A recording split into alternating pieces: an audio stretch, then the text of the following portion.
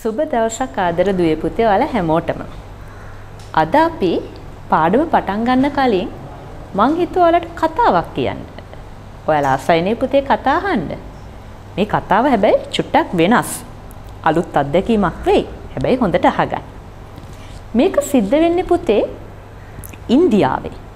ඉන්දියාවේ ජොරහද් කියන ප්‍රදේශය ආශ්‍රිතව තමයි මේක සිද්ධ වෙන්නේ. මේ කතාව කියන්නේ පුතේ ඡායාරූප ශිල්පියෙක්. ඒ කියන්නේ ඔයාලා දන්නවනේ ෆොටෝ ගන්න කෙනෙක්. මේ ඡායාරූප ශිල්පියා තමයි මේ කතාව කියන්නේ.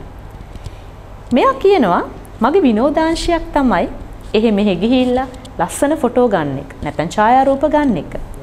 මේ ගිහිල්ලා සත්තු, ගස් කොළන්, මල්, ගංගා ඇලදොල මෙයා හරියට ෆොටෝ ගන්න කැමති. හරි ආසයි. එයා ඒ කියන්නේ ස්වභාව ධර්මයට ගොඩක් ලැබි කෙනෙක්. මෙයා කියනවා එක දවසක් මේ ඉන්දියාවේ තියෙනවලු විශාල ගඟක්. මේ ගඟේ නම තමයි බ්‍රහ්මපුත්‍ර කියන ගඟ. විශාල ගඟක් පුතේ මේක. මේ ගඟ මැද්දේ තියෙනවා විශාල දිවයිනක්. ඒ කියන්නේ ගඟෙන් තමයි මේ දිවයින වට වෙලා තියෙන්නේ. මේ දිවෙන් කියන මජෝලි දිවයින කියලා. මේ දිවයිනේ එහෙම නැත්නම් දූපතේ ඉන්නවලු මිනිස්සු 150000ක් විතර ජීවත් වෙනවා. හැබැයි ප්‍රශ්නයක් තියෙනවා. මේ ප්‍රශ්නේ තමයි මේ දූපත අවුරුද්දට සැරයක් අනිවාර්යෙන් යට වෙනවා. ගම් වතුරට අහු වෙනවා මේ ගඟ හින්දා. ලොකු ගඟක්නේ ගම් වතුර දාලා මේ දූපත යට වෙනවා. විද්‍යාඥයෝ කියනවා තව අවුරුදු 15ක් 20ක් විතර යද්දී මෙහෙම දිවයිනක් තිබුණේ නැති තත්වයට එයි කියලා. ඒ තරමට මේක යට වෙලා අපි කියන්නේ පාංශු කාදනය වෙනවා කියන්නේ මේක දිය වෙලා දිය වෙලා දිය වෙලා ගඟටම යනවා. කාලයක් යද්දී මේ දූපත නැති වෙයි කියලා. දැන් මේ බ්‍රහ්මපුත්‍ර ගඟේ මේ ඡායාරූප ශිල්පියා ඔරුවකින් යනවා ඡායාරූප ටිකක් ගන්න හිතාගෙන ටිකක් දුර යද්දී එයා අමුතු දර්ශනයක් දකිනවා. මේ දර්ශනය තමයි පුතේ මෙන්න මේ පින්තූරේ තියෙන්නේ. කාන්තාරයක්. කාන්ත ඒක තමයි විශේෂ හේතුව මේ දිවයිනේ හේදිලා හේදිලා යන ප්‍රධාන හේතුව ගස් කොළන් නැහැ. දැන් මේ කාන්තාරේ එයා දකින විශේෂ දේ තමයි හරි මැද්දට වෙන්න තියෙනවා ඝන වනාන්තරය. මොකද ඝන කියන්නේ ලොකුවට වැඩිච්ච සරුවට වැඩිච්ච වනාන්තරයක්. හරි ප්‍රශ්නයක්. මේ ලොකු කාන්තාරයක් නැද්දේ මෙච්චර ඝන වනාන්තරයක් තියෙන්නේ කොහොමද කියලා. මෙයා චුට්ටක් ඔරුව ළඟට ළඟට ගෙනියලා නවත්තනවා. නවත්තලා බලනවා. බලද්දී මෙයා දකිනවා අමුතු දර්ශනයක්. දර්ශනය තමයි මිනිස්සෙක් පැල හිටවනවා මේ කාන්තාරෙ මැද්දේ. ටිකක් බය වෙනවා මොකක්ද මේ හේතුව කියලා. මෙයා මේ මිනිස්සයා ළඟට ගිහිල්ලා කතා කරද්දි මිනිස්සයා ටිකක් බය වෙලා පිටිපස්සට ගිහිල්ලා හිතන හොයාගන්න බෑනේ කවුද මේ කියලා. කියනවා බය වෙන්න එපා බය වෙන්න එපා. මම මේ ඡායාරූප ශිල්පියෙක්. මම මේ පින්තූර ටිකක් ගන්න ආවේ. ඔයා බය වෙන්න එපා මට. ඔයා මොකද මෙතන කරන්නේ කියලා. මේ මිනිස්සයා කියනවා මම ලොකු වැඩක් කරනවා. මේ ලොකු වැඩේ තමයි මම ගස් හිටවනවා. ප්‍රශ්නයක්. හැබැයි අහනවා ඇයියෝ මේ කාන්තාරේ ගස් හිටවන්නේ? මෙයා කියනවා මගේ නම ජදෙව්. මං කරන්නේ මම මේ මජුලි දිවයිනේ ජීවත් වෙනවා. හැබැයි මට ලොකු ප්‍රශ්නයක් තියෙනවා. මම දන්නවා මේක තව ටික කාලයක් යද්දි හේදිලා යනවා. හැබැයි මම ගස් හිටෝලා මේ විදිහට ලොකු කරලා කිසි දෙයක් බලාපොරොත්තු වෙන්නේ ඒක තමයි මගේ සන්තෝෂය. කියනවා මම අවුරුදු 30ක් තිස්සේ එක දිගට මේ විදිහට ගස් හිටවනවා. එයාට දකින්න ඕන ගස් වලින් පිරිච්ච මේ දිවයිනක්. මෙයා මෙහෙම ගස් හිටවන එයා කියනවා හැබැයි මට තියෙන එක ප්‍රශ්නයක්. මේ ප්‍රශ්නේ තමයි සත්තුන්ගෙන් මේක ආරක්ෂා කර ගැනීම නෙමෙයි.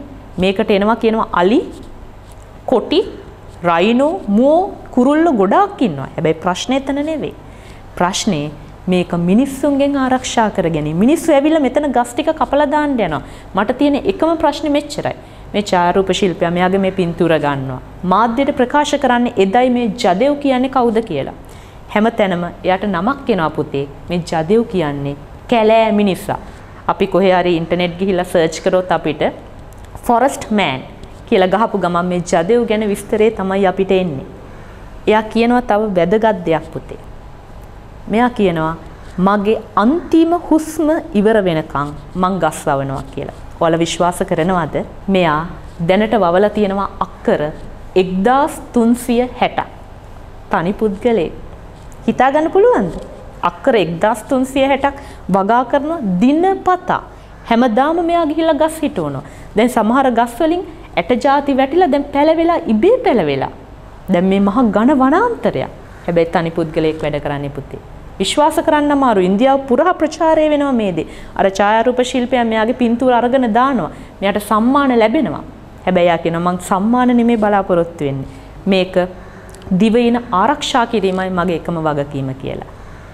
මම මේ දැන කතා කරද්දි පුතේ ඇයි මම මේ ගැන කතා කරේ කියලා වලට හිතනවා ඇති. අද අපේ හතර ශ්‍රේණියට අදාළ පරිසරය ආශ්‍රිත ක්‍රියාකාරකම් වල අපේ මාතෘකාව ගෙවත්ත. ගෙවත්තට එන්න ඕන හින්දා තමයි ඔයාලට මං ජදෙව් ගැන කතා කළේ. මොකද්ද පුතේ ගෙවත්ත කියන්නේ? අපි ගෙයයි මිදුලයි එකතු කරලා. එහෙනම් ඔන්න ගෙයින් අඩියක් එළියට තියන්න කොහෙටද? මිදුලට. ඇයි? ජදෙව් වගේ වගා කරන්න. සමහරක් හිටපු තේවල අද වුණත් වගා කරලා ඇති.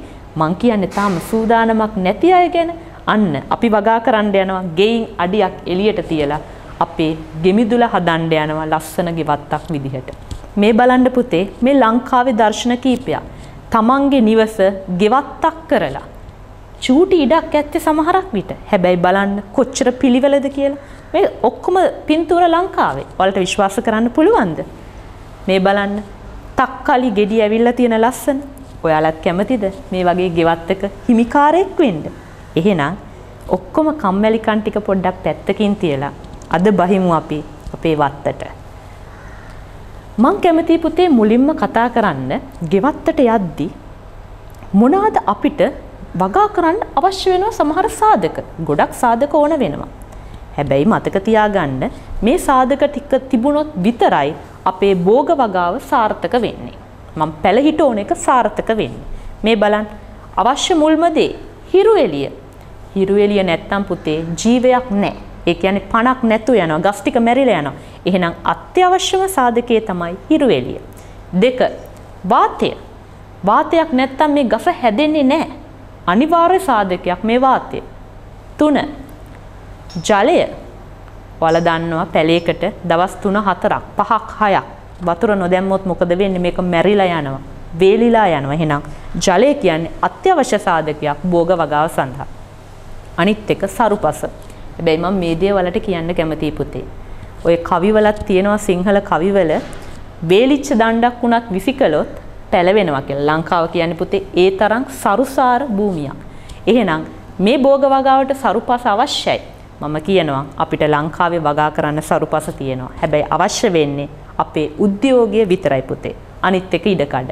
ඉඩකඩ ගැනත් වැඩි ප්‍රශ්නයක් කරගන්න එපා. අද වෙද්දි මම ඔයාලට ඉස්සරහට පාඩමේ කතා කරන්න.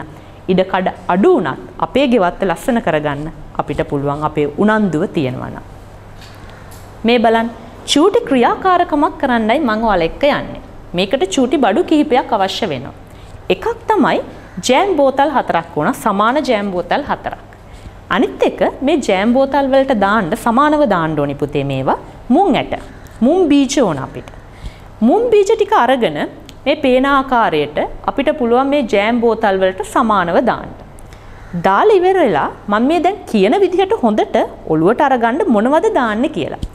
මේ A මං A කියලා දාලා තියෙනවා ජෑම් බෝතලේ. මේ A ජෑම් බෝතලයට මම දාන්නේ සාමාන්‍ය කාමර උෂ්ණත්ව ජලය. මොනවද සාමාන්‍ය කාමර උෂ්ණත්ව ජලය කියන්නේ පුතේ? ඒ කියන්නේ ගොඩාක් සීතත් නැහැ. ගොඩාක් රස්නෙත් නැහැ. සාමාන්‍ය අපි වල බොන්නේ වතුර.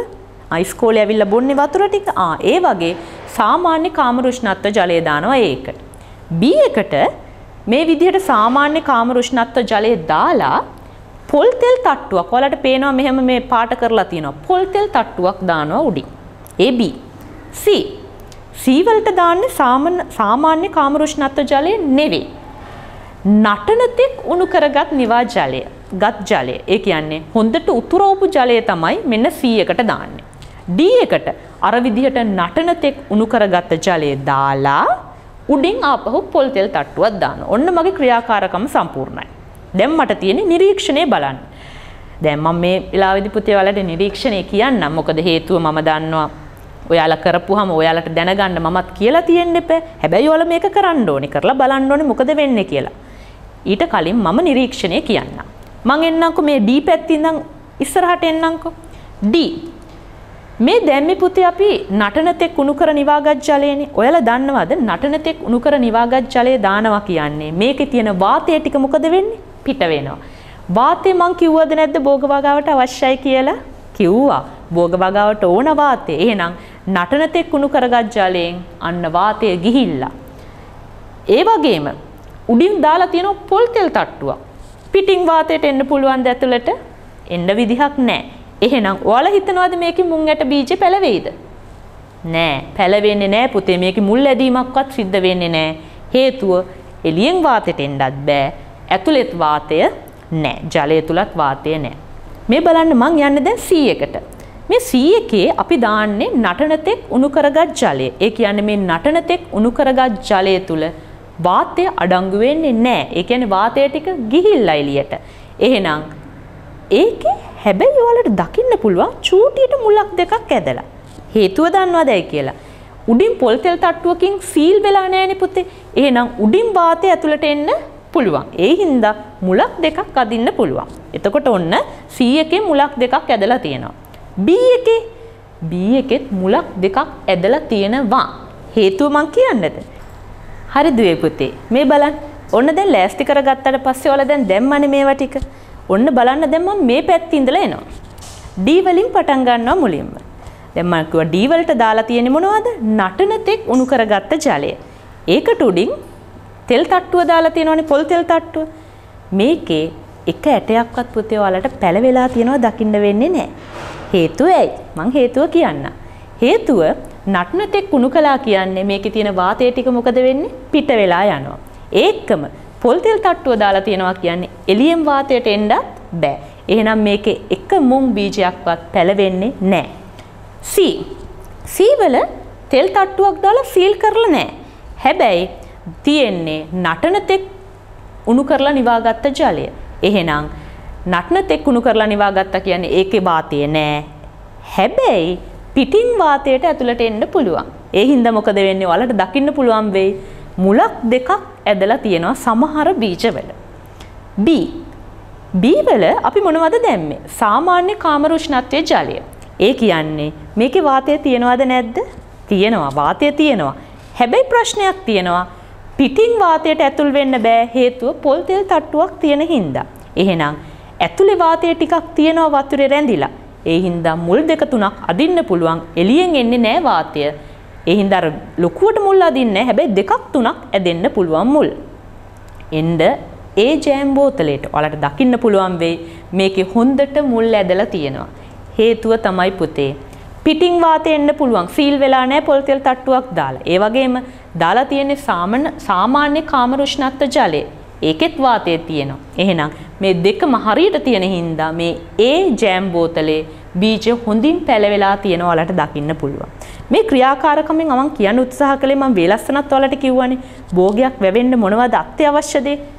වාතය. එහෙනම් මේ වාතය නැතුව පුතේ ශාකයක් වැඩෙන්නේ නැහැ. මේක තමයි අපි මේ ක්‍රියාකාරකම තුලින් ඔයාලට ඉදිරිපත් කළේ. ඒක හොඳට ඔලුවට ගන්න එහෙනම් පැලයක් වවනවා නම් අනිවාර්යයෙන්ම වාතය අත්‍යවශ්‍යයි. මං කිව්වනේ ගෙයින් වහින්න කියලා මිදුලට මිදුලට බැහැලා අපි හදන්න යන්නේ ගෙවත්ත. ඔන්න මං හදන විදිහක් ගැන කතා කරන්නයි යන්නේ. හොඳ ලොකු රවුමක් අපි කියන මේ වෘත්තයක් කියලා. මේ වෘත්තේ පුතේ හරි මැද්දේ හොඳට බලන්න මේකේ හරි මැද්දේ මං හිටවනවා ගස් ලැබු ශාකය. හරි දැන් මං මේකේ හේතු ටික කියන්නම් ඇයි මේ විදිහට කරන්න කිව්වේ කියලා. මැද්ද හිටවනවා ගස් ලැබු ශාකයක්. හිටෝලා මේ ගස් ලැබු ශාකේ හිටවපු වටේට මම හිටෝනවා ඇන්තූරියම් මල්. මගේ ගෙවත්ත කිව්වම පුතේ පළතුරු තියෙන්න පුළුවන්, එළවලු තියෙන්න පුළුවන්, පලා වර්ග තියෙන්න පුළුවන්, ඖෂධීය ශාක වර්ග තියෙන්න පුළුවන් නේ. ගෙවත්තේ ඕන දෙයක් තියෙන්න පුළුවන්. හැබැයි පිළිවෙලකට දාන්න යන්නේ. හේතුත් සහිතව මං ඉදිරිපත් කරන්න. මේ ගස් ලැබු ශාකයේ වටේට මං දැම්මේ ඇන්තූරියම්. ඇයි ඇන්තූරියම් මං වටේට දැම්මේ? හේතුව තමයි ඇන්තූරියම් වලට හේවන අවශ්‍යයි පුතේ. ඇන්තූරියම් තද අවුවෙන ශාකයක් නෙමෙයි. එහෙනම් ගස් ලැබු ගහේ කොළ වලින් මේ ඇන්තූරියම් වලට අවශ්‍ය සෙවන සපයනවා. ඒ හින්දායි මම ගස්ලබු ශාකයේ වටා ඇන්තූරියම් දැම්මේ. මේ ඇන්තූරියම් වලට පස්සේ මේ රවුම වටේට එන්නේ පුතේ මුකුණු වැන්න. මොකද මුකුණු වැන්න වලට ටිකක් තෙතමනයක් අවශ්‍යයි. ඇන්තූරියම් පැලේ කොලෙත් ටිකක් ලොකුවට තියෙනවානේ. එතකොට ඒ තෙතමනයයි ලා සෙවණයි එක්ක හොඳට වැවෙනවා මුකුණු වැන්න. මුකුණු වැන්න කියන්නේ පලා වර්ගයක්. ඊට පස්සේ මම දානවා දෙපැත්තට බෙදලා. පැත්තක ඉඟුරු, පැත්තක කෝමාරිකා. ඉඟුරු කියන්නේ පඳුරු, කෝමාරිකා කියන්නේ පඳුරු. මේ දෙකම ඖෂධීය ශාක දෙකක්. අපිට වෙනස්කම් කළාම පුතේ මේ කෘමි සත්තුන්ගෙන් වෙන්න පුළුවන් හානිය අවම කරගන්න පුළුවන්. ඒකයි අපි මේ විදිහට මිශ්‍ර කරලා වැඩේ කරන්නේ. ඉඟුරුයි කෝමාරිකයි දැම්මට පස්සේ මගේ දෙපැත්තට ආපහු වෙනවා පලා වර්ග දෙකක්. කංකුම් සහ ගොටුකොළ. මේවා දැන් ටික ටික මගේ වෘතය විශාල වෙන්න පටන් ගන්නවා. පැත්තක් කංකුම් පැත්තක් ගොටුකොළ. ඔයාලා දන්නවා අපේ ගෙදර අපේ බතට රසයි ගෙදර හදාගත්ත ගොටුකොළ ටිකක් කංකුම් ටිකක් තියෙනවනේ. ඒකයි පුතේ මේ ගෙවත්තක මේ වගේ දෙයක් පිළිවෙලට වවන්න කියන්නේ. අපේ බත සම්පූර්ණ වෙනවා මේ දේවල් හරියට වැවුවොත්. මේ කංකුම් ගොටුකොළ වලින් පස්සේ මං එනවා එළවලු වලට. එළවලු තමයි පැත්තක් දානවා වම්බටු පැත්තක් දානවා බණ්ඩක්ක. මේ ගස් ටිකක් විශාලයි. එතකොට රවුම විශාල වෙන්න විශාල වෙන්න තමයි මේ ලොකු ගස් ටික එන්නේ. බණ්ඩක්ක වම්බටු. මේ දෙකෙන් පස්සේ මම විශේෂ ශාක ಜಾති දෙකක් දානවා. එකක් කහ දාස් පෙතිය මේ පැත්තේ රතු දාස් පෙතිය. රතුයි කහයි තෝරගත්තේ පුතේ වර්ණවත් බවෙන් ලස්සන වෙන්න. හැබැයි දාස් පෙතිය දාන්න හේතු කීපයක් තියෙනවා. ඔයාලා දන්නවද අපිට ස්වාභාවික විදිහට කෘමි සත්තුන්ගෙන් අපේ වගාව ආරක්ෂා කරගන්න අපිට දාන්න පුළුවන් මේ දාස් පෙතිය. ඒ කියන්නේ කෘමි සත්තුන්ගෙන් එන උවදුර අඩු වෙනවා මේ දාස් පෙතිය තියෙද්දි. ඒ කියන්නේ කෘමි සත්තු අපේ මේ වගාවට හානි කරන්න එන්නේ නැහැ. ඇයි? වටේම තියෙන දහස් පෙතිය මේ පැත්තේ කහ මේ පැත්තේ රතු. එහෙනම් කෘමි සතුන්ට ඇතුල් වෙන්න බෑ අපේ වගාව විනාශ කරන්න. මේ තමයි පුතේ ක්‍රමවත්ව හදන්න පුළුවන් ගෙවත්තක් පහසුවේ. එච්චර අමාරු නෑ මේ පැල ටික හොයාගන්න. ලොකු ඉඩ කඩක් අවශ්‍ය වෙන්නෙත් නෑ. ඔයාලා බලන්න චූටි වෘතයක් විදිහට හදලා මේ ටික දාලා ලස්සනට හොඳ අලුත් දේ ඔයාලට ලබා ගන්න පුළුවන් වෙයි. මේ විදිහට ගෙවත්තක සැකැස්මක් ඔයාලා පිළියෙල කරගත්. මේ බලන්න. මම කිව්වා අපේ ලංකාව කියන්නේ සරු පසක් පුතේ. ඕන තැනකට ගියොත් සරුයි පස. හැබැයි මේ ලංකාවේ ප්‍රදේශ අනුව මේ පස වර්ග කරන්න පුළුවන් වෙනස් වෙනවා. පාටවල් වෙනස් වෙනවා. තියෙන සරු භාවය වෙනස් වෙනවා. මං කතා කරනවා ලංකාවේ මේ අපි දැන් බවණ්ඩන යන්නේ. එතකොට අපේ ගෙවත්තේ කොයි විදිහේ පසක්ද තියෙන්නේ කියලා ඔයාලා හොයාගන්න ඕන. මෙන්න තියෙන පස් වර්ග. සාමාන්‍ය පස් වර්ග කිහිපයකුයි මම ඔයාලට මේ ඉදිරිපත් කරන්න යන්නේ. මුලින්ම මැටි පස. මැටි පසක් කියන්නේ පුතේ වතුර බහිනවා හරි අඩුයි. මේකේ රඳනවා වතුර ටික. ඉක්මනට බහැලා යන්නේ නැහැ වතුර. අපි කියන්නේ නිකන් අතට නිකන් ගුලි කරාම ඇඟිලි කරු ඇතුලෙන් මේ මැටි පනිනවා. මේ තමයි මැටි පස. බොරළු පස සාමාන්‍යයෙන් බොරළු හරි ප්‍රයෝජනවත්. ඒ වගේම හැබැයි හරි තදයි. අපිට පොළොව කොටන්න හරි අමාරුයි මේ බොරළු පස තියෙද්දි. ඊළඟට වැලි පස. වැලි පස කියන්නේ සාමාන්‍ය වතුර ඉක්මනින්ම බැහැලා යන පසක්. ඒ වගේම ලොකු සාරවත් භාවයක් ගැන කියන්න අමාරුයි. හැබැයි පැල කරන්න පුළුවන් ප්‍රශ්නයක් නැහැ. නමුත් වතුර ඉක්මනට බැහැලා යනවා වතුර රඳන්නේ නැහැ. රතුපස මේ රතුපස අපිට දකින්න පුළුවන් පුතේ යාපනයේ ප්‍රදේශයට ගියොත් ඔයාලා අතට පස් මිටක් අරගත්තොත් මේ තියෙන්නේ මේ පස් මිටක් අරගත්තොත් අතට මේ පස පුතේ රතු පාටයි කියනවා හරිම සාරවත් කියලා විශේෂයෙන් ඔය රතු ලූණු අල එහෙමත් වගා කරා මේ යාපනයේ ප්‍රදේශයේ මේ පස එච්චරම සාරවත් හින්දා. හැබැයි මම මේ පස් ගැන නෙමෙයි දැන් කතා කරන්න යන්නේ. මෙතනින් චුට්ටක් එහාට ගිහිල්ලා භෝග වගාවට සුදුසු වන්නේ ලෝම පසයි. ලෝම පස කියන්නේ පුතේ කළු පසක්. මේ ලෝම පස අපි හදාගණ්ඩයි යන්නේ.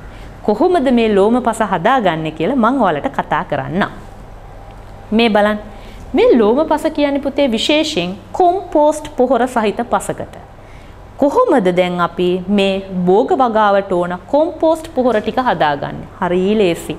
කලබල වෙන්න දෙයක් නෑ පුතේ. මෙන්න මේවා ටික තියෙනවා නම් ඔයාලට ගෙදරම හදාගන්න පුළුවන්. මම දැන් හදාගන්න විදිහත් ඔයාලට කියනවා. මුලින්ම ගොම ටිකක් ඕන. මේ සත්තුන්ගෙන් ඉවත් කරන අපද්‍රව්‍ය ගොම ඒ වගේම පුළුවන් නම් කුකුල් පොහොර විශේෂයෙන්ම කියනවා කිකිලියව්. ඒ කියන්නේ කුකුල්ලෝ නෙමෙයි කිකිලියෝ බිත්තර දමන කිකිලියන්ගෙන් ඉවත් කරන කුකුල් පොහොර ගන්නවා නම් වඩාත් සරුසාරයි කියලා. ඒ වගේම ශාක කොටස් වගේක් ඕන අපිට විශේෂයෙන් ගිනිෆීරියා. මේ ගිනිෆීරියා ගන්න පුතේ මේක හරි ඉක්මනට දිරනවා. ඒ කියන්නේ පසට ටක් ගාලා අල්ල ගන්න හින්දා අපි වැඩිපුර ගන්න ගිනිෆීරියා. ඊට අමතරව ওই ගස්වල ඉවත් කරන කුණු රොඩු, ආ ගෙදරින් අයින් කරන කෑම జాති, ඒ කියන්නේ පොලිතින් නෙවෙයි ඉවත් කරන මේ ඉතුරු වෙන ආහාර ඉඳුල් අපද්‍රව්‍ය යොදා ගන්න පුළුවන් ඔයාලට මේ කොම්පෝස්ට් පොහොර සෑදීම සඳහා. ඔන්න දැන් ලෑස්ති වෙන්න මම කියන්න යන්නේ කොහොමද කොම්පෝස්ට් පොහොර හදාගන්නේ කියලා. මේ බලන්න. හැබැයි පුතේ මේක සමාන ප්‍රමාණ වලින් ලබා ගන්න ඕනේ අපි. ඔන්න දැන් හදන්නයි යන්නේ. ලෑස්තිද? මුලින්ම ගණ්ඩ කොළ ඒ කියන්නේ වියලී ගිය අතු කෑලි ඒ කියන්නේ නිකන් තන කොළ පිඩලි වල වේලිලා වේලිලා ගියේ ඒවා හොඳ තට්ටුවක් දාන්න. මේ තට්ටුව හිතන්නකෝ ඔයාලා අඟල් 6ක් විතර උසට දානවා කියලා. දැම්මට පස්සේ මේ වේලිලා ගිහිල්ලානේ. වේලිලා ගිහිල්ලා හින්දා මේක එහෙම හරියන්නේ අපි මේක පොඩ්ඩක් තෙත් කරන්න ඕන. වතුර මල් වතුර බාල්දියකින් අපි වතුර ටිකක් දාලා මේක හොඳට තෙත් කරනවා. තෙත් කරලා ඉවර වෙලා මම ඒකට දානවා ගොම පොහොර. ගොම පොහොරත් හැබැයි අඟල් 6ක් දාන්න ඕන. දැන් අපි අර කොළ රොඩුත් අඟල් 6ක්නේ. ගොම පොහොරත් අඟල් 6ක් උසට දානවා. දාලා ඉවරලා මේකත් වේලිලා නම් වතුර දානවා. අමු ගොම වගේ දැම්ම නම් වතුර අවශ්‍ය වෙන්නේ නැහැ. නමුත් මේ වේලිච්ච ගොම නිසා ඔන්න වතුර දානවා. ඊට පස්සේ මේ තට්ටුවෙන් පස්සේ මම දානවා මං කිව්වේ ගිනි සීරියා කොළ හොයාගන්න කියලා. ආ මේ ගිනි සීරියා කොළ හොඳට කපලා කපලා කපලා අර වගේම අඟල් 6ක් මට්ටමට දාන්න පුළුවන්. දාලා ඉවර වෙලා මම තට්ටු කිහිපයක් තව හදා ගන්නවා. ආයෙ මම දානවා ආයෙ කුණු රොඩු වතුර ටිකක් දානවා ඊළඟට මම ගොම නෙමේ දාන්නේ කුකුල් පොහොර තට්ටුවක් අඟල් 6කට දානවා වතුර ටිකක් දානවා ඊට පස්සේ දානවා ආපහු මේ වගේ කොළ ටිකක්. ඔන්න මම දැන් තට්ටු 6කට විතර හදාගත්තා. හදාගෙන ඉවර වෙලා මේ විදිහට වහන්න පුතේ හොඳ කළු පොලිතීන් එකකින් ටිකක් ඝන කළු පොලිතීන් එකකින් හොඳට වහන්න ගල් තියලා වහන්න. වහලා තියන්න ඕන සුමාන දෙකක්. හොඳට මතක තියාගන්න සුමාන දෙකක්. සුමාන දෙකක් තියලා ඉවර වෙලා මේ විදිහට මේ පස පෙරලන්න පුළුවන් අපිට. උදළු පාවිච්චි කරලා මේ පස පෙරලෙනවා. ඇයි මේ පස පෙරලන්නේ? හේතුව පුතේ මේ වචනේ මම පාවිච්චි කරන්නම් ඔයාලට ශුද්‍ර ජීවීන් ඉන්නවා. ශුද්‍ර ජීවීන් වැඩියෙන් ඉන්නේ කුකුල් පොහොර සහ ගොමවල. ඒ කියන්නේ අර ඇහැට පේන්නේ නැති ජීවීන් ඉන්නවා. මෙයාලා හින්දා තමයි මේ අපිට කොම්පෝස්ට් පොහොර වැඩියෙන් ලැබෙන්න ප්‍රධාන හේතුව. මේක පෙරලපුවම තමයි මෙයාලා එහාට මෙහාට ගිහිල්ලා මේක ඉක්මනට දිරන්නේ. සුමාන දෙකකට පස්සේ පෙරළුවා. පෙරලලා ඉවර වෙලා ආපහු කළු පොලිතීන් එකකින් මම මේක වහනවා. වහලා ආපහු සුමාන දෙකක් තියෙනවා. ආය සුමාන දෙකක් තියලා ඉවර වෙලා ආපහු පෙරලෙනවා පුතේ මම මේක. ආය හොඳට පෙරලෙනවා. පෙරලලා ආපහු සුමාන දෙකක් තියෙනවා. මේ විදිහට සුමාන 6ක් තියන්න ඕන. පෙරල පෙරල සුමාන දෙකකින් සැරයක් පෙරල පෙරල සුමාන 6ක් තියලා ඉවර වෙලා මට ලැබෙනවා මං පාවිච්චි කරන්න බලාපොරොත්තු වෙමින් ඉන්න මොනවද? කොම්පෝස්ට් පොහොර. අන්න මට කොම්පෝස්ට් පොහොර ලබා ගන්න පුළුවන්. මම හිතනවා ඔයාලට පැහැදිලි කියලා පුතේ කොහොමද කොම්පෝස්ට් පොහොර ලබා ගන්න කියලා. දැන් ඔයාලා ගෙදර වගා කරන්නනේ යන්නේ. අන්න ඊට කලින් සුමාන 6කට කලින් කොම්පෝස්ට් පොහොර ටිකක් හදාගෙන ලෑස්ති කරගන්න ඔයාලගේ පැලවලට දාන්න. ඇයි අපි මේ කොම්පෝස්ට් පොහොර ගැන කතා කළේ? මේ කොම්පෝස්ට් පොහොර තමයි පුතේ අපි තව වචනයකින් හඳුන්වනවා කාබනික පොහොර. මේ බලන්න කාබනික පොහොර. මේ කොම්පෝස්ට් පොහොර වලට තමයි කාබනික පොහොර කියන්නේ. මම මෙතනදී වෙනස්කම් කිහිපයක් කතා කරන්න යනවා කාබනික පොහොරයි රසායනික පොහොරයි ගැන. කාබනික කියන්නේ කොම්පෝස්ට් පොහොර. මොනවද මේ කොම්පෝස්ට් පොහොර වලින් ගන්න පුළුවන් ප්‍රයෝජන? ඇයි අපි රසායනික කියන පොහොර පාවිච්චි කරන්න හොඳ නැත්තේ කියලායි. කාබනික පොහොර. ඔයාලා දන්නවද? විෂද්‍රව්‍ය ඒ කියන්නේ භෝගවලට එකතු වෙන්නේ නැහැ කාබනික පොහොර හින්දා. ඒ තියෙන්නේ ගොම, කොලරොඩු, ආ ගස්වල කොටස ඕවන තියෙන විෂද නෑ. එහෙනම් මං වගා කරන මගේ භෝගවලට එකතු වෙන්නේ නෑ කාබනික පොහොර. හැබැයි මං පාවිච්චි කරොත් රසායනික පොහොර. ඕවල විෂ දේවල් තියෙන්න පුළුවන් පුතේ. ඕවා මගේ භෝගවලට එකතු වෙනවා. ඒක වැඩි හොඳක් නෙමෙයි. ඒක හොඳ නෑ ඒ වැඩේ. මොකද සමහරක් වෙලාවට මම දාන්නේ මේ රසායනික පොහොර අස්වැන්න වැඩියෙන් ගන්න. මතක තියාගන්න. අස්වැන්න වැඩි වෙන්න පුළුවන්. කෙටි කාලයකදී. හැබැයි අපි කතා කරලා අතවනන්නේ අපේ මරණයට වෙන්න පුළුවන්. හොඳට මතක තියාගන්න රසායනික පොහොර කියන්නේ පුතේ විසයි. පුළුවන් තරම් ඔයාලා පාවිච්චි කරන්න කාබනික පොහොර. ප්‍රශ්නයක් නෑ මං කිය කොම්පෝස්ට් පොහොර කොච්චර පාවිච්චි කරත් ප්‍රශ්නයක් නෑ. අනික දැන් අපේ භෝගවලට විෂ එකතු වෙලා නැත්තම් ඕ අපේ ශරීරයට ඇතුල් වෙනවද නෑ? ශරීරයට ඇතුල් වෙන්න විසක් නෑ. ඒ වගේම අනිත් පැත්තට ශරීරයට විස ඇතුල් වෙන්නේ නෑ කියන්නේ අපි ලෙඩ වෙන්නේ නෑ. හැබැයි මං රසායනික පොහොර පාවිච්චි කළොත් අනිවාර්යෙන් මේවා භෝගවලට එකතු වෙලා තියෙන හින්දා මොකද වෙන්නේ? සිරුරට ඇතුල් වෙනවා. සිරුරට ඇතුල් වෙනවා කියන්නේ මල් ලෙඩ වෙනවා. විශේෂයෙන් සමහරක් වෙලාවට අපිට ඔය හොයන්න බෑනේ පුතේ මොනවද? පිළිකා කියලා අපි කියන්නේ. සමහරක් වෙලාවට කියනවා මේ රසායනික පොහොරවල ප්‍රතිඵල වෙන්න පුළුවන් කියලා. අපි කෙටි කාලීනව ලොකු දේවල් ලොකු අස්වනු ගන්න මේවා පාවිච්චි කරත් අපේ අනාගතයට අපේ ජීවිතයට සමහර වෙලාවට මේවා තර්ජන. ඒ හින්දා හොඳට මතක තියාගන්න ඔයාලා වගා කරනවා නම් පාවිච්චි කරන්න පුතේ කාබනික පොහොර. යන්න එපා රසායනික පොහොරවලට. හේතුව අපි කතා කරලා ලෙඩ රෝග අපි ගාවට ගන්න ඕනේ නැති නිසා. මම කිව්වනේ ගෙදරින් බහින්න කියලා වත්තට සමහරු කියනවා අහපුවම ඇයි ටීචර් බහින්න බෑනේ අපිට වත්තක් නැහැනේ අපේ ගේ විතරයි තියෙන්නේ චූටි ඉඩක් අපිට ඉතුරු වෙලා තියෙන්නේ කියලා. අන්න මං ඒකට විසඳුමක් දෙන්න යන්නේ. විසඳුම තමයි ගෙවත්ත ඉඩකඩ අපිට සීමා සහිතයි. ඔන්න මං වචනයක් පාවිච්චි කරනවා. විකල්ප බඳුන්. විකල්ප කියන්නේ වෙනත් විදිහට බඳුන් ලොකුවට හිටවන්න ඉඩ නැති නිසා. බලමු මොනවද මේ විකල්ප බඳුන් කියලා. මගේ ගෙවත්ත පොඩි නම් මට පාවිච්චි කරන්න පුළුවන්. මේ බලන්න හරි ලස්සනයිනේ මේ මල් වගා කිරීම. හැබැයි මේ ඔක්කොම ඉවත දමපු ටයර්. මේ ටයර් ටික අරන් මං චුට්ටක් පේන්ට් කරලා ලස්සන කරගන්න. ආ මල් ටිකක් හිටවලා තියෙනවා. හැබැයි මේ ඉවත දමන දේවල්. ඔයාලට හිතාගන්න පුළුවන්ද? මගේ ගෙවත්ත පොඩි කියලා ප්‍රශ්නයක්ද දැන් නෑ. මට මේක එක උඩ එක උඩ ලස්සනට තියලා පොඩි ඉඩක උනත් හදාගන්න පුළුවන්. මේ බලන්න. සමහරක් වෙලාවට මගේ ගෙයින් එළියට බහිද්දිම මට ගේට්ටුව තියෙන්නේ. හැබැයි මට පුළුවන් ගේ ඇතුළට වෙන්න මේක කරගන්න. මේ ලී පෙට්ටි හදලා තියෙනවා. මේ ලී පෙට්ටි තුල තමයි මම පැල හිටවන්නේ. ප්‍රශ්නයක් නෑ. මගේ ගෙවත්තක් මට නැති වුණාට ඉඩක් නැති වුණාට ප්‍රශ්නයක් නෑ. මේ විදිහට මට වගා කටයුතු කරන්න පුළුවන්. මේ බලන්න. ඔයාලා ඉවත දානවා නේද මේ විදිහට ටින්?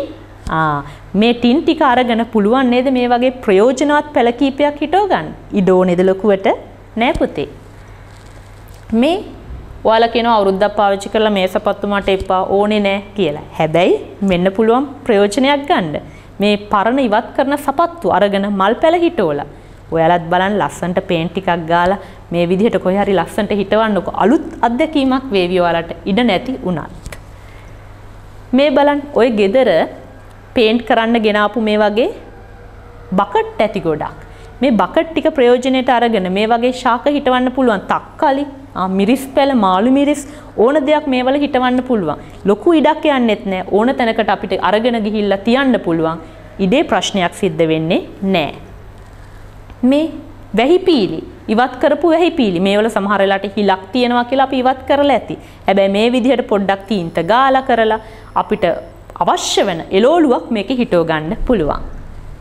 මේ ඒත් ඉවත දාන මොනවද? ප්ලාස්ටික් බෝතල්. ලස්සන්ට කට කපලා ආ තීන්ත ටිකක් ගාලා එක පිළිවෙලකට පැත්තක තියලා බලන්න තියෙන අලංකාරය මේ අපි ඉවත දාන දේවල්නේ අපි කියනවනේ ඉඩ නෑ කියලා. දැන් කියන්න පුළුවන් ද අපිට ඉඩ නෑ වගා කරන්න බෑ කියලා. බෑ. එහෙම කියන්න බෑ. අපිට ඕන තරම් දේවල් පුතේ පාවිච්චි කරන්න පුළුවන්. හැබැයි අපි කල්පනාකාරීව දේවල් පාවිච්චි කරොත් ඕන තරම් ප්‍රයෝජන ගන්නත් අපිට පුළුවන්. මේ බලන්න. මේ තමයි උණ ගස්. මේ උණ ගස් නම් අපිට එහෙම් මෙහෙම් හොයාගන්න පුළුවන්. මේ උණ ගහ අරගෙන මැද්දෙන් කපලා පස් පුරෝලා විශේෂයෙන් මේ මිරිස් පෙළ වගේ දේවල් හිටවන්න පාවිච්චි කරන්න පුළුවන්. මේ ස්වභාව ධර්මයාගෙන්ම අපිට ගන්න පුළුවන් දේවල්නේ. අපි කියනවා අපිට සල්ලි නෑ, අපිට හොයාගන්න අමාරුයි, වාචනයක් හොයාගන්න අමාරුයි. අනේ කිසි ප්‍රශ්නයක් නෑ. කොහෙන් හරි ගිහිල්ලා මේ උණ බඩ දෙක තුනක් හොයාගන්නකො. පුළුවන් ඔයාලට ගෙවතු වගාව අදම ආරම්භ කරන්න. මේ මොකද්ද? මේ ඉවත දමන ආ රෙදි කෑල්ලකුයි ආ යකඩ එක්කෝ යකඩ කම්බි ටිකක් අරගෙන මේ විදිහට වගා කරලා අපිට අවශ්‍ය භෝග ලබා ගන්න ඔයාලට පුළුවන්. මේ මොකක්ද මේ අලුත්ම දෙයක්. මේ අලුත්ම දේ තමයි පුතේ වර්තමානයේ ඉවත් කරන කෙහෙල් බඩ. කෙහෙල් බඩ ටිකක් අරගෙන තැනින් තැන වලවල් වගේ චූටියට කපනවා. කපලා ඒ වලවල් වලට පුරවනවා පස්. මේ පස් පුරවල ඉවර වෙලා මේකේ වගා කරන්න පුළුවන්. වගා කරලා ඒ කියන්නේ විශේෂයෙන් වතුර දාන්න ඕන වෙන්නේ නැහැ මේකේ. හේතුව කෙහෙල් බඩේ තියෙනවා පුතේ තෙතමනේ. එතකොට මේ පසට තෙතමනේ අල්ලනවා. ඒ හින්දා ලොකුවට වතුර දාන්න ඕන වෙන්නේත් නැහැ. අපිට මේ විදිහට වගා කිරීම කරගන්න පුළුවන්. ලොකු මුදලක් වියදම් කරන්නෙත් නැතුව ඉඩකඩ ප්‍රශ්නකුත් නැතුව අවශ්‍ය වෙන්නේ පුතේ අපේ හිත විතරයි. අපි ඉදිරියට අඩියක් තිබ්බොත් මේ දේවල් කරගන්න අපිට එච්චර අමාරු වෙන්නේ නැහැ. මේ බලන්න මොනවද ඔයාලා දැන් ඔයාලගේ ගෙවත්තේ වගා කරන්න යන්නේ. මේ දේවල් ටික පුතේ ඔයාලට ලේසියෙන් පුළුවන් ඔයාලගේ ගෙවත්තේ වගා කරන්න. ලොකු ඉඩක් ඕන වෙන්නෙත් නැහැ. ලොකු කාලයක් පවතින දේවලුත් නෙමේ. ඒ හින්දා බලන්න මේ වලින් දෙක තුනක්වත් ඔයාලට ගෙදර වගා කරගන්න පුළුවන්ද කියලා. කැකිරි වට්ටක්ක කියන්නේ වැල්. මේවට ලොකු ඉඩක් අවශ්‍ය වෙන්නේ රවුම් කරලා රවුම් කරලා එකම තැන යවා ගන්නත් අපිට පුළුවන්. බණ්ඩක්ක වම්බටු කියන්නේ චුට්ටක් ලොකු වෙන ශාක නමුත් කපලා කරලා අපිට තියාගන්න පුළුවන්. නිවිති ඒකත් අපි කපපුහම ගහ පොඩි වෙනවා. එතකොට වැවෙන වැවෙන ටික කපලා ගන්නවා කියන්නේ ලොකු ඉඩක් නැහැ. වැටකොළු පතෝල කරවිල කියන්නේ වැල් යනවා පොඩි මැස්සක් ගහලා මේ මේ විදිහට මැස්සක් ගහලා පොඩියට ඔයාලට පුළුවන් මේක වගා කරන්න. ඊට අමතරව මාළු මිරිස් මං කිව්වේ මාළු මිරිසුත් කියන්නේ ලොකු වෙන ශාක නෙමේ පුතේ. පොඩි ඉඩක පිළිවෙලට ඔයාලට මේ එළවලු ටික වගා කරන්න පුළුවන්. මේ බලන්න පළතුරු. ඔයාලා හරි ආසයි නේ දවල්ට බත් ටිකක් කාලා ඉවර වෙලා පළතුරක් කන්න. එහෙනම් පුතේ මේ ටික පොඩ්ඩක් පුළුවන් නම් වගා කරගන්නකෝ ඔයාලගේ ගෙවත්තේ. එච්චර අමාරු නෑ. අඹ තියෙනවා. අද ලොකු ගස් අවශ්‍ය නෑ. පළදා වෙනවා මිටි. කෙටි කාලිනව පළදාව ගන්න පුළුවන් ඒවා තියෙනවා. අඹ කෙසෙලුත් එහෙම. අද ලොකු කෙසෙල් ගස් නෑ. පොඩි කෙසෙල් ගස් වලින් එනවා ලොකු කෙසෙල් කැන්. මේ විදිහට අද ඕන තරම් පළතුරු අපිට ලොකු ඉඩක් නැතුව පොඩි ඉඩක වගා කරගන්න පුළුවන්. අද දොඩන් ජම්බු ගස් ලබු ගස් ලබුත් තියෙනවා පොඩි ශාක. කොමඩුත් ලොකු දුරක් යන වැල් නෙමේ. පොඩි දුරක යන්නේ මේ කොමඩුත් වැල්. ඔයාලට පුළුවන් එහෙනම් තීරණයක් ගන්න. මගේ ගෙවත්තේ පළතුරු වගා කරගෙනම මට ආහාරයට ගන්න මම වැඩ කරනවද කියන එක. අනිත් එක මේ ඖෂධීය ශාක විශේෂයෙන් පුතේ මේ ඖෂධීය ශාකයක් කියන එක අපේ ගෙදරට අත්‍යවශ්‍යයි. අපි වෛද්‍යවරයෙක් ළඟට යන්න කලින් පොඩි අත්බෙහෙතක් විදිහට මේවා පාවිච්චි කරන්න අපිට පුළුවන්. පොඩ්ඩක් පිලිස්සුනොත් අපිට කෝමාරිකා කෑල්ලක් ගන්න පුළුවන්. ආ බෙහෙත් නෙල්ලි කියන්නේ විටමින් C අධික පළතුරක්. විදිහට ගන්න පුළුවන්. හාතවාරිය කියන්නේ කැඳවලට ගන්න පුළුවන්. ආ ඉඟුරු කියන්නේ සෙම් ප්‍රතිශ්‍යාව උනට අපිට ගන්න පුළුවන්. කහත් ඒ වගේ විස බීජනාශකයක්. අනිත් පැත්තෙන් දෙලුම්.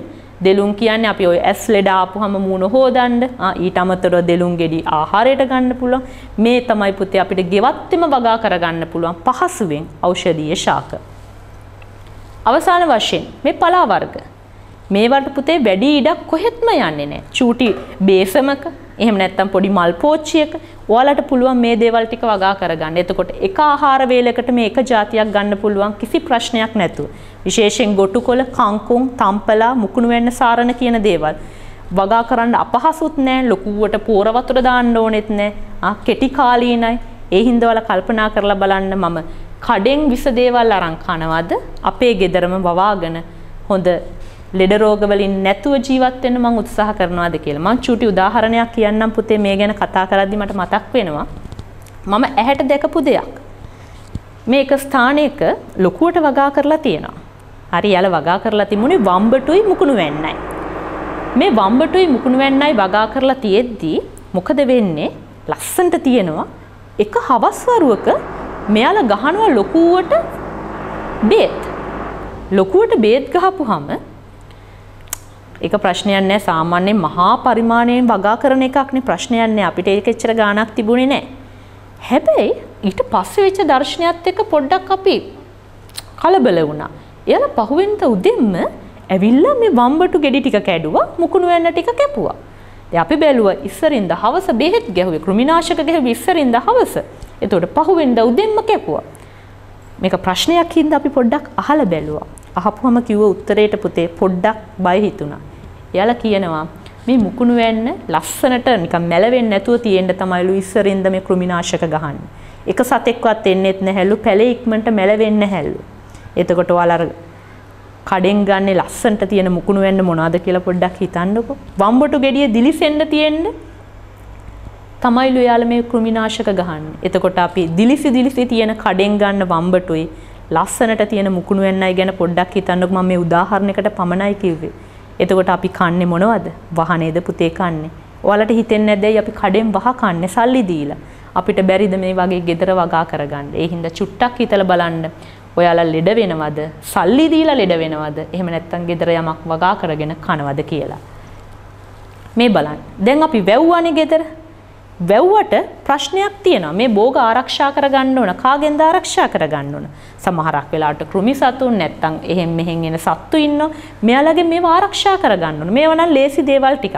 අපිට පුළුවන් වැටක් සකස් කරන්න. ආ වටේටම වැටක් ගහන්න පුළුවන්. ලොකු මහන්සියක් නැතුව කොටන් කීපයක් තියලා වැට ගහන්න පුළුවන්. එහෙම නැත්තම් ටකයක් එල්ලන්න පුළුවන්. ඕක හුලඟට වැදෙන්න එල්ලන්න පුළුවන්. නැත්තම් අපිට ගිහිල්ලා ගහන්න එල්ලන්න පුළුවන්. එතකොට කුරුල්ලෝ වගේ විනාශ කරන්නේ අපේ වගාවන්. අනිත් එක තමයි මේ විදිහට පඹයක් දාන්න පුළුවන්. ඔයාලා දැකලා ඇති විශේෂයෙන් ওই ගොයම් වගේ දේවල් වගා කරද්දී නම් විශේෂයෙන් මේ පඹයව දානවා කුරුල්ලෝ වගේ බය වෙලා යනවා එන්නේ නැහැ. මම මීට කලිනුත් කතා කරලා තියෙනවා දිය හොල්මන. ඒකටත් වෙන්නේ සත්තු බය වීමක්.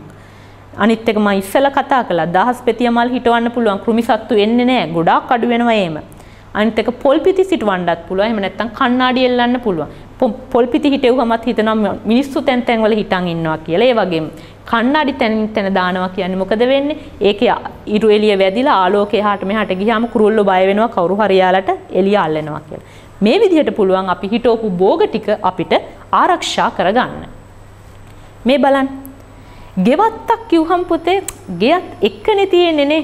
පිළිවෙලකට තියෙන්න ඕන නේද? අපි ආසයිනේ ඇහැට දකින්න ලස්සනක්. ආ මේ ගෙවත් අපි පිළිවෙලට සකස් කරගන්න ඕන. මුලින්ම තමයි පුතේ තැනින් තැන කැඩිලා තියෙනවා නම් වැටවල් ටික ඕක ලස්සනට හදාගන්න. මොකද ඇහැට ප්‍රිය වුණොත් තමයි අපි ඔතනට යන්න කැමති. ඒ වගේම තැන් තැන් වල ලুকুවට වල් පැලෑටි වැවිලා නම් ඔයාලා කැමතිද? නෑ. අපි කවුරුත් කැමති නෑ. එහෙනම් පුතේ වල් පැලෑටි ටික අපිට ගලවලා දාන්න පුළුවන්. අනිත් එක තමයි අක්‍රමවත්ව. අක්‍රමවත්ව කියන්නේ තැනින් තැන. මෙතන වම්බටු ගහයි, මෙතන වම්බටු ගහයි, මෙතන වම්බටු ගහයි, අතන වම්බටු ගහයි. එහෙමද නෑ. වම්බටු හිටවනවා නම් එක තැනක. බණ්ඩක්ක තව තැනක. මෑකරල් තව තැනක. නිවිති තව තැනක. ওই විදිහට පිළිවෙලට පාත්ති දාන්න පුළුවන්. එතකොට හරි පිළිවෙල. අපි දන්නවා මෙතන තියෙන්නේ මේ ටික. මෙතන තියෙන්නේ මේ ටික. එතකොට අපේ ගෙවත්ත හරි පිළිවෙලයි. අනික තමයි කාණු ටික සුද්ධ කරලා අපිට ලස්සනට වතුර පද්ධතියක් තියන්න පුළුවන් යවන්න මේ භෝගවලට අවශ්‍ය ජලය ලබා දෙන්න. ඒ වගේම පැලයක් වැඩෙන්න පුතේ අපි සාත්තු කරන්න ඕන. අපි ඕක පොඩ්ඩක් අල්ලන්න ඕන, අත ගන්න ඕන, ගහ එක චුට්ටක් අර කතාවට කියන්නේ කතා කරන්න ඕන. එහෙම වුණොත් තමයි ওই පැලේ නගින්නේ. එහෙනම් අපි පෝර ටිකක් දාලා මේ පැලේට සාත්තු කරන්න ඕන. පිළිවෙල ගෙවත්තක් හදාගන්න ඕන. විශේෂයෙන් අපිට පුළුවන් අපි හදපු පාත්ති එකිනෙක වෙන් කරලා වැටි බඳින්න. වම්බටු තැන වෙන් කරලා බැම්මක් බඳිනවා එතකොට. ගල් ටිකක් තියෙන ලොකු දෙයක් නෙමෙයි බැම්මක් බඳිනවා කියන්නේ. එතකොට නිවිති පැත්ත වෙන් කරලා බැම්මක් දානවා. ওই විදිහට හැදුවොත් අපේ ගෙවත්ත හරි පිළිවෙලයි බලන් ආසයි. අපි ඔතනට හැමදාම යන්න අපිට හිතෙනවා. මේ බලන්න. මම මගේ ගෙවත්ත හරියට පාවිච්චි කරගෙන ගියොත් මට එන ප්‍රයෝජන මොනවද? ගොඩාක් ප්‍රයෝජන තියෙනවා පුතේ. එකක් තමයි මං කිව්වේ වස විස නැති ආහාර මට ගන්න පුළුවන්. ඇයි? මම දන්නවා මගේ ගෙවත්තේ තියෙන්නේ මුකුත් ගහපු නැති ඒවා කියලා. අර මම ඉස්සලා කියපු උදාහරණේ ඒ මිනිස්සු කියනවා අපි අර බෙහෙත් ගාපු ඒවා අපි කන්නේ නැහැ. අපිට වෙනම වගා කරගෙන අපි තියෙනවා. කවුරුත් ඔය ලොකුවට මහා පරිමාණයෙන් වගා කරන අය පුතේ එයාලා කන්නේ නැහැ ওই වගා කරන ටික. එයාලා එයාලට වෙනම වගා කරගන්නවා. හේතුව එයාලා දන්නවා අරවා වස විස කියලා. එහෙනම් ඔයාලා වගා කරගන්න ටිකත් ඔයාලා දන්නවා වස විස නැහැ කියලා. එහෙනම් අපිට වසවිස නැති ආහාර ටිකක් ගන්න නම් අපි මේ ගෙවත්ත හරියට පවත්වගෙන යන්න ඕන. අනිත් එක තමයි හිතන්නකො වැඩියෙන් සල්ලි ලබා ගන්න ඔයාලට වැඩි. මං හිතෝන එළවලු ටිකෙන් මට එන අස්වැන්න වැඩි. මට පුළුවන් ඕක විකුණ ගන්න. එහෙනම් මගේ අතට කීයක් හරි ගාණක් හම්බෙනවා. අනිත් එක ලෙඩ හැදෙන්නේ නැහැ. ඇයි ලෙඩ හැදෙන්නේ නැත්තේ? මං කන්නේ වසවිස ආහාර නෙමෙයිනේ. හොඳ දේවල්නේ. එහෙනම් මට ලෙඩ හැදෙනවද? නැහැ. අනිත් එක ශරීරයට ව්‍යායාමයක් ලැබෙනවා. ඔයාලා ගෙවත්තට ගියොත් එක්කෝ හිට ගන්නවා. එක්කෝ නැමිල පාත්තියක් සුද්ධ කරනවා. එක්කෝ දන ගහගෙන වැඩක් කරනවා. ආයි හිට ගන්නවා. නැමෙනවා, දිගෑරෙනවා. ආ මොකද වෙන්නේ? මේ ශරීරයට ව්‍යායාමයක් ලැබෙනවා. ඒක අපේ ශරීර සෞඛ්‍යයට ඉතාමත් හොඳ දෙයක්. අනිත් එක සිතට. ඔයාලා හිටවපු පැලයකින් මලක් ඇවිල්ලා ගෙඩියක් එද්දි වලට මොකද්ද දැනෙන්නේ පුතේ? හරිම මනසට නිදහසක්නේ. ওই නිදහස ලැබෙන්න වල ගෙවත්තට යන්න ඕන. ඒක තමයි ලැබෙන තවත් ලොකු ප්‍රයෝජනයක්. අනිද්දී අපි ගෙවත්ත දැන් පිළිවෙලටනේ හදලා තියෙන්නේ. එතකොට ඕකේ දැන් තැනින් තැන පොලිතින් තියනවද? පැලවැවිලා කුණු රොඩු තැන තැන තියනවද? නැහැ. ඒ කියන්නේ අපේ ගෙවත්තට මදුරුව බෝ වෙන්න පුළුවන්ද? බෑ. අපේ ගෙවත්තට මදුරුව බෝ වෙන්නේ නැහැ. මේ විදිහට අපි පිරිසිදුව පිළිවෙලට තියාගෙන ඉන්න හින්දා. අපිට පුතේ මේ විදිහට ලස්සනට ගෙවත්තක් කරොත් ප්‍රයෝජන රාශියක් තියෙනවා කියලා මං හිතන්නේ ඔයාලට දැන් වැටහෙනවා. මම කැමතියි පුතේ ඔයාලට මේ ගෙවත්ත ගැන කියවුණු පුංචි කවි දෙකක් ගැන කියන්න. මං කවියක් කියලා පොඩ්ඩක් තේරුම් කරලා දෙන්නම් ඊළඟට මොකද වෙන්නේ කියලා. මේකෙන් කියන්නේ මගේ ගෙවත්තේ තියෙන සුන්දරත්වය මොකක්ද කියලා. රන්වන් බිජුපාල මුල් ඇද ගන්නේ දලු කෝල දෙක තුන හිමිහිට එන්නේ පසසාරු කොට ආප එය සිටු වන්නේ රන්වන් රන්නාප ගෙවතු කරන්නේ. ඔයාලා රන්වන් රන්ද? ඔයාලා තමයි මේ ගෙවත්ත කරන්නේ. ඔයාලා හිටෝන බීජ දෙකෙන් තුනෙන් එන කොළ දෙක දැකලා ඔයාලට කොච්චර සන්තෝෂයක් එනවද කියලා මේ කියන්නේ. දහස් පේතිය මල් තාල තබන්නේ කෘමීන් එලවා පැලසුරකින්නේ.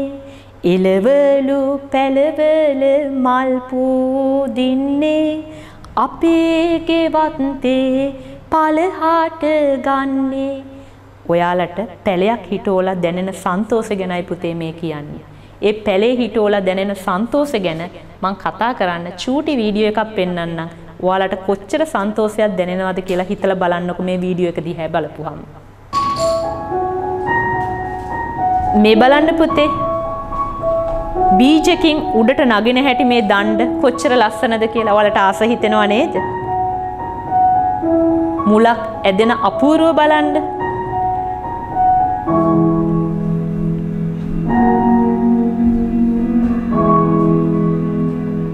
පස් ටික එහාට මෙහාට කරගෙන එන අපූර්ව බලන්න ලස්සන බලන්න හිතන්න පුළුවන්ද මේ ඔයාලා හිටවන පැලවලටත් මේ දේම තමයි සිද්ධ වෙන්නේ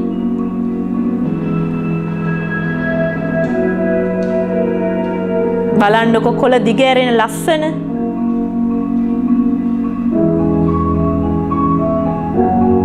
කුරුමිනියෙක් වගේ අපිට ඈතට පේන්නේ නේද?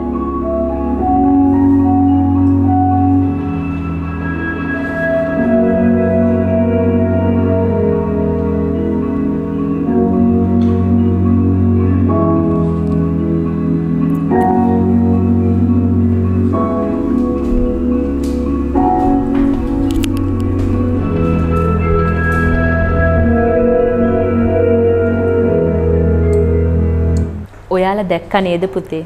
අපේ විශ්වය කොච්චර ලස්සනද? හැබැයි මේ විශ්වය ගොඩක් ලස්සන කරන්නේ මේ ශාක. මං ඒකයි කිව්වේ අද ඔයාලට තීරණයක් ගන්න කියලා. ඔයාලගේ ගෙදරින් එළියට බහින්න ගේ මිදුලට බහින්න බැහැලා වගා කරන්න. සමහරු වගා කරනවා ඇති ඒක මම පිළිගන්නවා. හැබැයි වගා නොකරපු අයටයි පුතේ මම මේ කතා කරන්නේ. අර ජදෙව් වගේ ඔයාලත් හිතන්න ඔයාලගේ අන්තිම හුස්ම යනකම් මම පැලයක් හිටවනවා කියලා. ඒකෙන් ලැබෙන තෘප්තිය පුතේ වෙන කිසිම දෙයකින් ඔයාලට ලැබෙන්නේ ආදරය කරන්න ගහට කොලට ඔයාලගේ ජීවිතේ හැමදාම සාර්ථක වෙයි. ස්තුතියි.